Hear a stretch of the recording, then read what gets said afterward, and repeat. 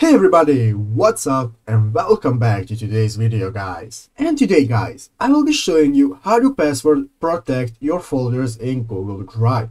So yeah guys, make sure to watch this quick and easy video till the very end and follow my steps correctly. So you can make sure this works the same for you and that you can do this yourself.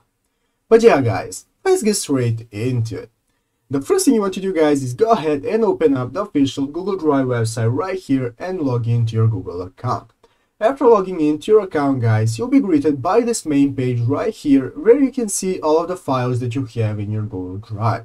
So as you can see here guys, under suggested, I have all of my recently used and opened files. Here I can see all of my folders where I can group my files into them. And if I scroll down even a bit more, I can see all of my files that I have that aren't grouped in any folder.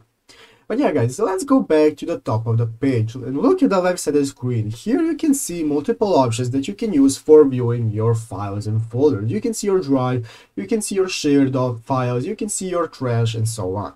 So guys, the first thing you want to do is go ahead and find the folder that we want to password protect. let's say this is the folder right here.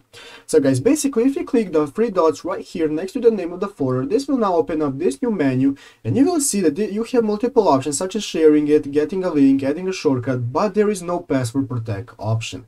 And that is, guys, because Google Drive does not have this option that you can protect the password, the folder with the password from yourself.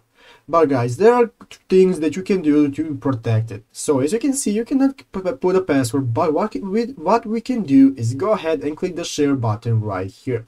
Clicking on share guys, now we can go ahead and share the folder with another person. Let's say we are sharing the folder with someone and we want to protect it so that only people with uh, passwords or restricted, restricted, restricted access guys, excuse me, can access the folder. So guys, what you can do is go ahead and click this option right here that says general access. You want to go ahead, click on anyone with the link and then you want to select restricted.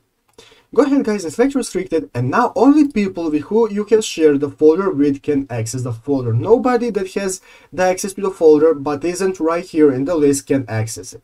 So guys, basically that's how you put a password protection on your um, folder so that only people you want can access it. Go ahead, click done, and now only people you have chosen can access the folder. But yeah guys, basically that's how you do it. I hope this video was helpful. If it was, make sure to leave a like and subscribe to the channel. So guys, thank you for watching, take care and bye.